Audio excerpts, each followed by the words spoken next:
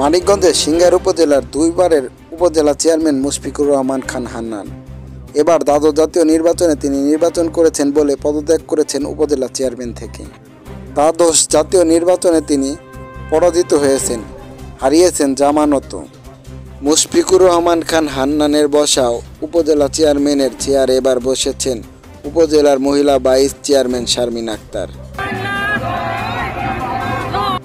Singer উপজেলার vice chairman Sharmin আক্তারকে ভারপ্রাপ্ত উপজেলা চেয়ারম্যান হিসেবে দায়িত্ব দেওয়া হয়েছে।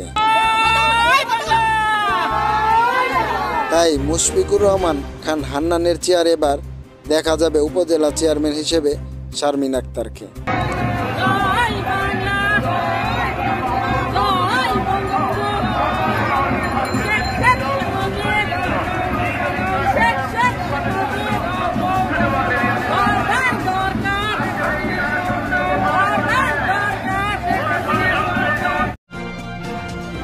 মানিকগঞ্জ নিউজ মানিকগঞ্জের মানুষের সাথে। সাবস্ক্রাইব নাও ইউটিউব চ্যানেল